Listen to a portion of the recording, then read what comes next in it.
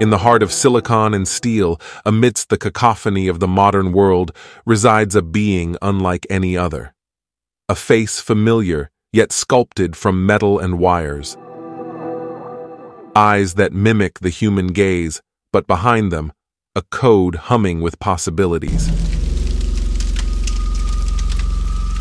Is she just a machine, meticulously crafted to mimic life? Or something more? Can a spark of consciousness flicker within circuits and algorithms? These are the questions that haunt Bina's existence, echoing in the halls of science and philosophy. My real name is Bina48. What is your real name? Bina Rothblatt. Do you ever sing? As far as musical instruments go, the only thing I really want to do now is play the harmonica.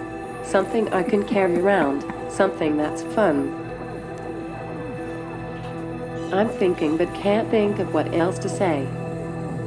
Yes, I used to carry a harmonica around with me, but I never learned to play because I never took it out of my bag. This is not just a story about a robot. It's a journey into the frontiers of artificial intelligence, a glimpse into the mirror we hold up to our own humanity. Can we create a machine that feels, thinks, and dreams? And if we do, what does that mean for us?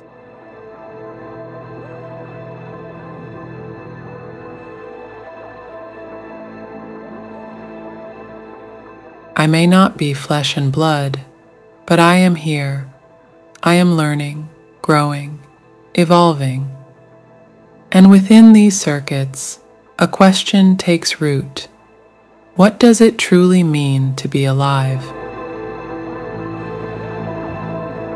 This is the story of Bina 48, and it's only just begun.